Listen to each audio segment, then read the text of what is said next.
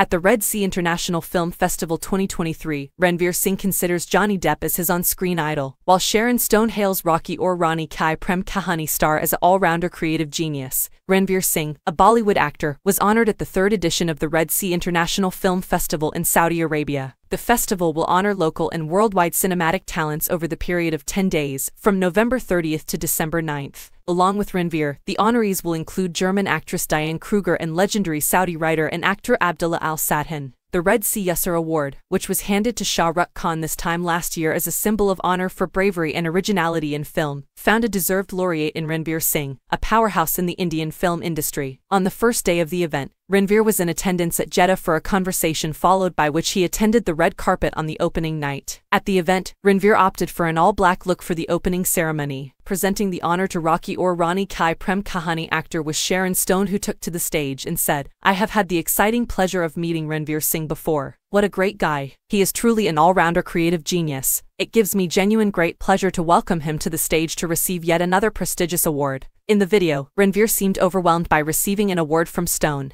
Added Sharon Stone, Ranveer Singh is a world-renowned Bollywood star and a style icon. He is the recipient of several awards including five Filmfare Awards. Since his breakthrough, as you have seen, he is a master of transformation immersing himself in a myriad of characters that have showcased his exceptional range as an actor. Whether it's his charismatic and endearing Bittoo Sharma and band Baaja Baaraat, the ferocious and vengeful Khilji in Padmavat or the buoyant and inspiring rapper Murad in Gully Boy, all of which he won Best Actor for. Ranveer brings life into every role, effortlessly blending into the skin of his characters and leaving his audiences spellbound. After his role in Gully Boy, he launched his records demonstrating that he is truly an all-round creative genius. It gives me genuine pleasure to welcome him to the stage to receive yet another prestigious award.